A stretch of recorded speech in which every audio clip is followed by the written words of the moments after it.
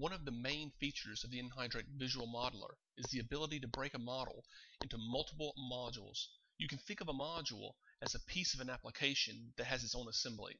This functionality is most useful for very large databases.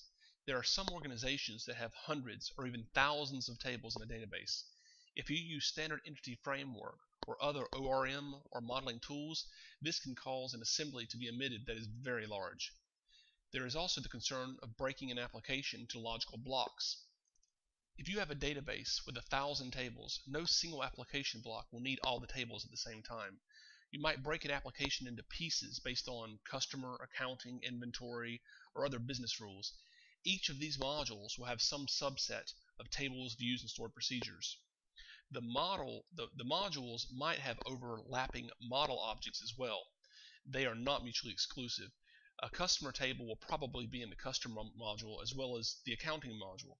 This is perfectly valid. Assemblies using either module can select from and update to the customer table in this scenario.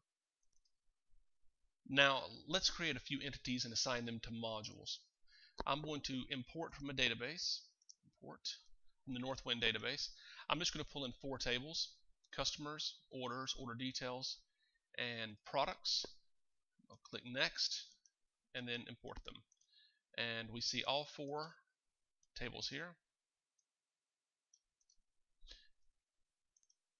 Now I go to the Model Explorer.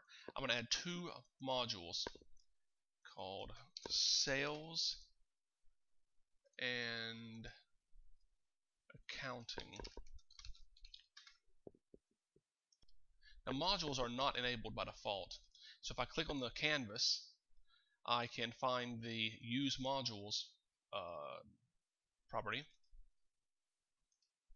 now, uh, the, the model is able to allow modules. Now we need to assign. Now if we come to the model right click anywhere on the canvas and go to the model menu, module associations, and now you see the mod modules here. So in sales, I'm just going to add customer and orders. I push, and that's going to get all the fields and the relationships that are in here as well. Push save, and then I load the accounting module and I'm just going to put orders, order details, and products inside of there. And push save get out of here. Now I've done all the association now I'm ready to generate. Now normally we emit an entity framework data access layer and interfaces and a database installer project and that's going to be multiplied by two here because we're going to have one set of those generators for each uh, module so let's go ahead and generate generate. And we have a little validation error. Hold on. And no, let's validate again. Okay, no more errors.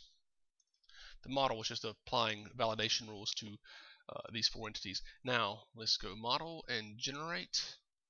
It comes up. Now you see there's two modules down here, sales and accounting. I want both of those.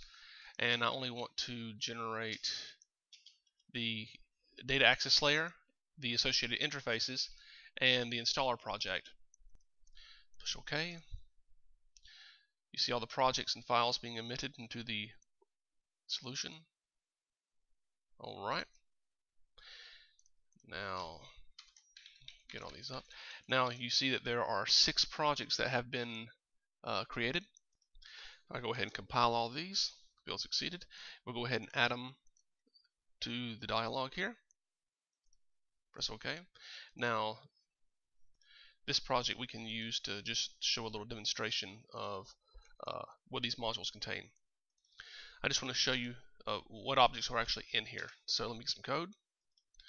And this is a little piece of code uh, that loads the accounting context. And you will notice we just declare uh, first model entities out of the accounting module. When I say uh, IntelliSense, I'll see you see order details and orders.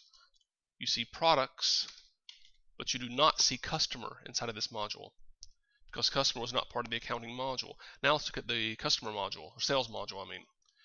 If I change this to sales, now we're actually loading another context out of another completely different assembly.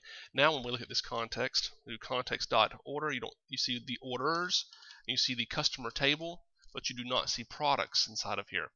And this shows how to split a model up into two different modules.